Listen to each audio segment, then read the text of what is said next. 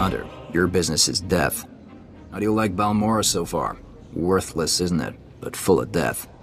As war zones go, it's not so bad. Hmm. Then you haven't been here long enough.